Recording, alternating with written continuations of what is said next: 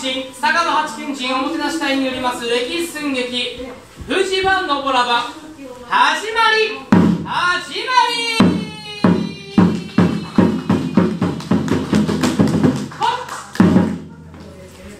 さて今から150年以上前のことじゃな。時代は幕末から明治に大きく移り変わろうとしておった。その頃国の中心といえばこの佐賀城じゃ。みんなポカーンとしてるが本当のことじゃその頃はなこの辺りに住む者にとっては国といえば佐賀のことだったんじゃ。同じようにお隣の福岡や熊本は別々の藩でなわしのような藩主がそれぞれの藩を治めとったんじゃ。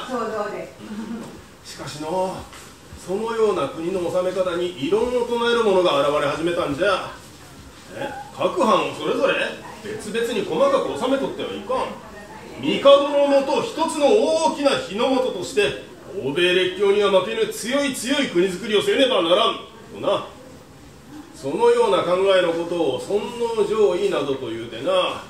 実際にそれを行動に移していく者たちのことを勤王の志士などと呼んだんだな。そしてついにここ佐賀でもその勤王を唱える若者が現れたのじゃ。その男の名は枝吉信陽国学者である父親の影響でこやつはめっぽう天皇のことを尊敬しとるんじゃ。そして枝吉を慕う若い者たちの中にはいずれは我々も今日に上りそして勤王の志士になるのじゃとそう夢を語る者まで現れ始めたんじゃな。わしはな藩主という立場ではあるが若い者たちがしっかりと自分の考えを持って議論をすることは悪いこととは思うとらんのじゃ。しかしの困ったことにじゃ。実は我が鍋島家というのは将軍家とは親戚の関係じゃ。しかも幕府の中にはこのわしの知り合いもたくさんおるんじゃ。突き詰めて言えば尊皇攘夷というのは幕府をなくしこの佐賀藩もなくしてしまう。そういう考えじゃからの。さらに加えて困ったことにじゃわしが信頼をしておる佐野常民という若者までが江戸の方で勤王を唱え始めたという噂が聞こえてきたんじゃ。この度なんとかあやつにこの佐賀に戻ってくるように命令を出したところなんじゃが。はてさてどうしたもんかの。うん。はてさてどうしたもんかの。殿は怒っておられるじゃろうなはあどうしたもんかそうじゃ殿殿殿殿殿じゃこの私が間違っておりましたダメですかダメかダメかダメかどうしたもんかもうあそうじゃそうじゃ殿殿じゃあもう拙者じゃあわしはなあそうだそうだよしよく聞いてくれ殿勤王勤王ですかき昨日あそうですよね。あそうですよね。どういうことかわからないでございますな。そう私もよくわからないでございます。勤王というものは。本物の殿なら怒られるな。いやありがとう。あそのまま見ていてくれ。あしかしこのままだんまりを決め込むのもありでありだが。殿そして佐賀藩あっての生い立ちちゅうことは重々分かっとるつもりじゃ。ばってんこのままでおったらこの国は秦国のように欧米列強の植民地にされてしまうかもしれないんじゃ。ああてさてどうしてもんかのはあ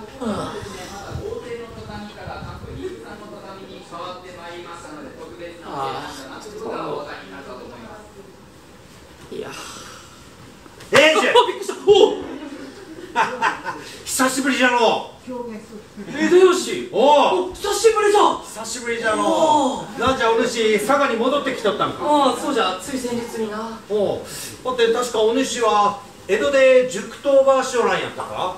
いやああそうそうなんじゃそれがのおう。いややっぱよか人に話せることや長けん。なんじゃ英樹お主なんかやらかしたんか？あいや別においは何も悪かことはしとらんそんなや話でもよかろうが。おいが聞いてやっけ。ん面白がりよって。そうがんじゃなかくさ英樹があんまり暗か顔して悩んどこたっけんが心配しとったやん。か本当か？本当じゃ。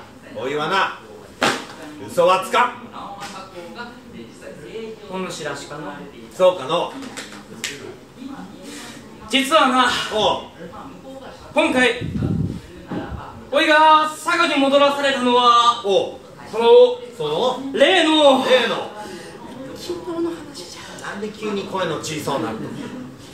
なんや。はっきり言わんか。そのあのなおう。例の。例の。だけどなんでまた声の小さうなるの？ちゃんと言えちゃんと。分かった分かった。例のお勤労の話なんじゃ。金の声でかい。びっくりするだろ。うそうかそうか。お主もとうとう勤労に目覚めたか。その件について殿に申し開けませんばいかんことなったとよ。そうかそうか。いや笑い事じゃなかってあ話によっちゃ切腹もんかもしれんやろうが切腹もんじゃろうるせえわあびっくりした何が切腹かわしらの殿がそがん条件の狭かことが言うわけなかろうがおいは分かるばってどうしたもんかと思うてな。うん。よし。英樹な？そんならとお主が殿に勤労を進めてみるんじゃ。は？得意の泣き落としで殿にうんと言わせるんじゃ。得意の泣き落としじゃ、まあ、一晩泣き虫んごと言うな。そうか。ばってん大事は言いよったぞ佐野さんはすぐに涙が流しん作権が騙されてしまうてな。あ？いやえ？いやおいは別に泣き落としても人は魂を売るわけやなかおいはな熱い思いを必死に必死に訴えようとしたらななんかようわからんが涙が溢れてくるんじゃ。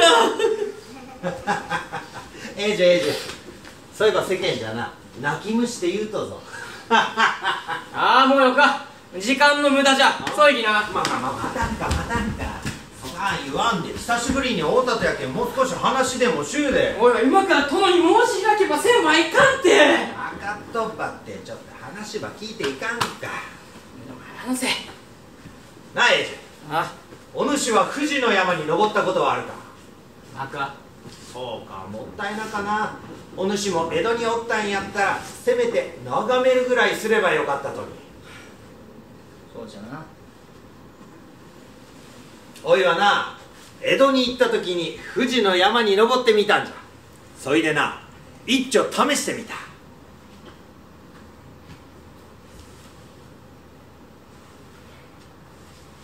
何をじゃ？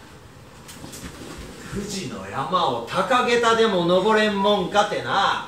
あ高げたああ富士の山って言うたら日本一高い山じゃ。道は石だらけの岩だらけ。そがんところば藁で編んだ草履で登っていきよっちゃすぐにボロボロになってしまう。だけ木でできた下駄やったら丈夫かけんよかとじゃなかかと思ってな。まあ妙案ではあるな。そうじゃろ。ばってんな江戸におる時の周りのもんはみんなしてな。やめとけやめとけ。富士の山を下駄で登るなんぞ聞いたこともなか。ってみんなして言いよる。そりゃそうじゃろ。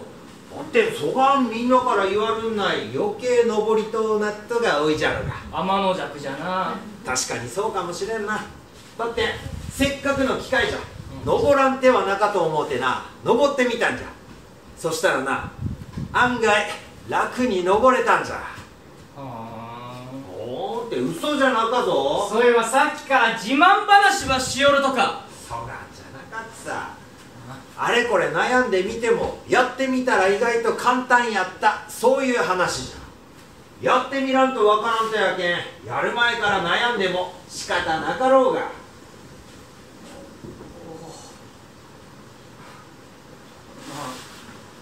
あ確かにそうじゃな。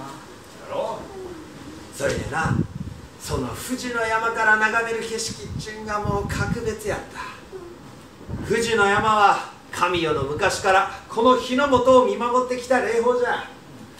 おいはな岩に腰掛けて辺りをぐるりと見回しとった。するとな雲の切れ目から一条の光がスーッとさしてわしの前を通り過ぎたかと思うと眼下に広がる大地をさーっと照らしていったんじゃ、はあ、この光り輝く日の本恋は一つにせんといかん。このまま滅ぶんを待っとっちゃいかん。恋は心底そう思うた。秀吉。そいでなこうも思うたんじゃ。草履で登っとったらどうやったろう。同じように考えとろうかってな富士の山もそっから眺める景色もそうそう変わるもんじゃなか。登る場所も登り方も人それぞれじゃ。見え方も人によって違ってくるじゃろ。心持ち一つで簡単に変わってしまうもんじゃ。そんなら大切なんはなるか。そいはなどこを目指すか。なんじゃなかろうかの。どこを目指すか？なあ英樹わしらの殿はほんにすごかお人じゃと思わんか。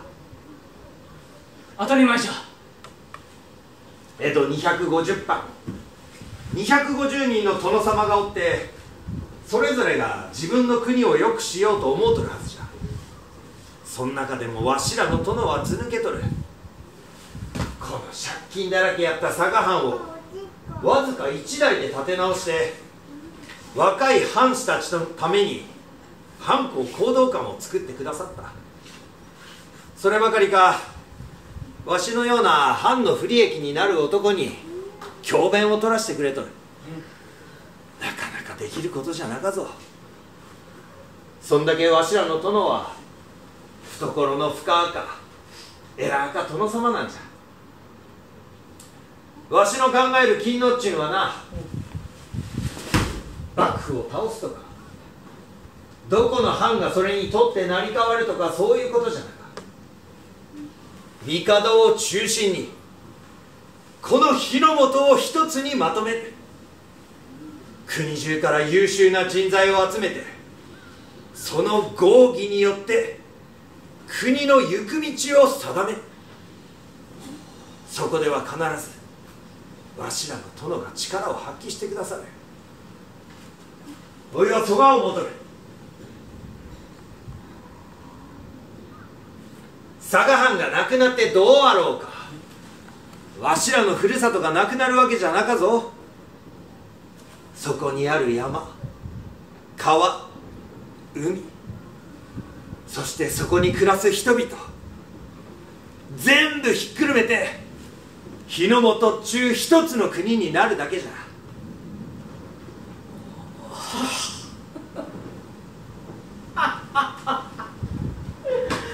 駒一郎やっぱ大した男じゃな。すまん。英樹何じやっぱりお主は泣き虫じゃのう。ゃうるさか。大丈夫じゃ。心配せんでもよか。お主のこと仕事のできる男は殿がそうそう手放すはずがなかろうが。そう思うてしっかりと語ってこい。の。あ。わしはわし。英樹は英樹そして殿は殿じゃそれぞれが違う場所から登っていった方が面白かろうが。それでも目指す頂は同じじゃ？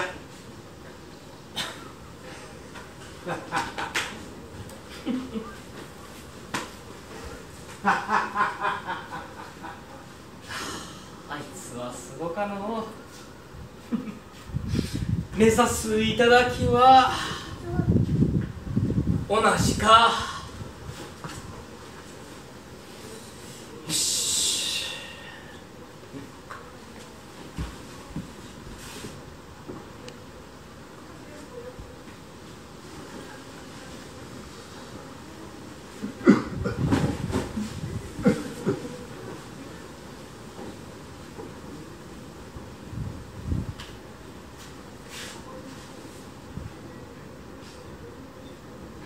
あのよ表を上げよははこの度の佐賀への規範ご苦労であるはありがたきお言葉時にお主なぜ呼び戻されたのかは分かっておろうなは反面に背きあろうことか他藩の者と組みし勤王を唱えるとはどういう了見か。申してみよすべては我が佐賀藩の。そして我が敬愛すべき。殿のためにございます。幕府をなくしこの佐賀藩もなくすのがわしのためか。殿。殿には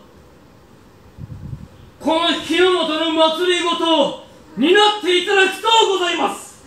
なんと？佐賀藩のではなく日の本という一つの国をまとめる力新しい国づくりのためには殿のそのお力が必要なのです。このわしに幕府に歯向かえ。将軍家に戦を仕掛けようと申すか？戦をせずとも国を変えるそれが勤王でございます。お主枝吉に会うたな。あの勤王かぶれが言いそうなことじゃ。殿私は京都や大阪江戸で多くのことを学びそしてたくさんの考えに触れることができました勤王という考えもその中の一つでございます。ほう。今この国は大きく変わろうとしております。来たるべきその時のためになすべきことが。それはこの国を一つにし西洋に負けぬ力を持つこと。そして何よりこの国に生きる人々全てが安心して暮らせる国づくりこの日の元に生まれてきてよかったとそう思えるような国づくりが必要なのです。です。私は正直そのための術を迷っておりました。何を迷うたのじゃ？勤王を歌うべきか反命に忠実に生きるか。してどうすべきかは分かったのか？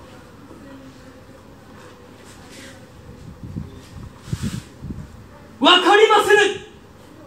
分からんか。ですが私は枝吉に会うて気づかされたことがございます。あの霊峰富士の山を登るにも高げたか草履かはたまた素足か目指す頂は一つであろうとも方法は一つではないということであります。いくつもある道の中から己の力を最大限に生かせる方法を探し出す。それこそが己がなすべきことを果たすため大切なことではないのかと。殿このその鶴民鍋島直政子終わってのそれがしでございます。殿のそのお力を十分に発揮していただくためそして何より新しい国づくりのために全力を尽くしたいと思っておりまする。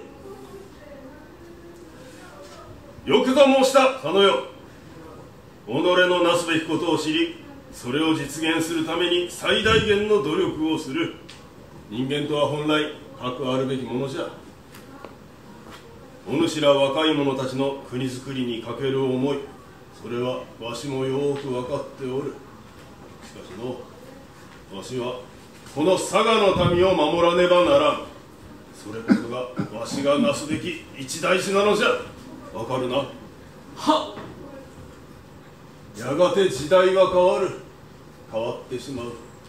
そしてその時には必ずお主ら若い者たちの力が必要となる。よいな。必ずじゃ。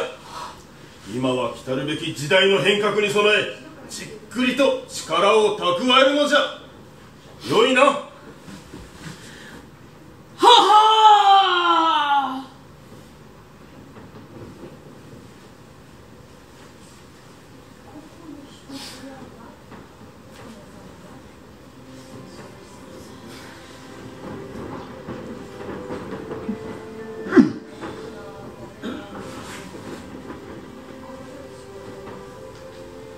英治。佐野常民はこの後殿の命を受けさまざまな仕事を成し遂げる。佐賀藩清廉方では日本初の蒸気機関の模型を完成させまた長崎海軍練習所での経験を生かし日本海軍の元を三重に作るさらにパリ万博に参加し日本の近代化を図りそこで出会った国際赤十字の活動に感銘を受け日本赤十字社のもと博愛社を設立。幕末から明治にかけての激動の時代を駆け抜けていったんじゃ。幕末の佐賀藩の若者たちの目を開かせた枝吉一心よ秘密の会合議祭同盟を結成し後の明治政府で活躍する若き者たちを次々と育て上げまさに目指す頂を指し示した。だが彼自身は明治の夜明けを見ることなく病に倒れた。だが彼の国づくりの理念は議祭同盟の志士たちによって受け継がれた。多くの若者たちが新たな国づくりのために駆け巡った激動の時代じゃ。どんな人がどんな思いでこの国を作り守り慈しみ。そしてそのために戦ったのか。今生きておるこの国がどれほど素晴らしい国であるのか。その答えはぜひこの佐賀城本丸歴史館の中でご覧になっていただきたい。幕末維新佐賀の八賢人おもてなし隊によります歴史寸劇藤場のボラバ本日は最後までご覧いただき誠にありがとうございました。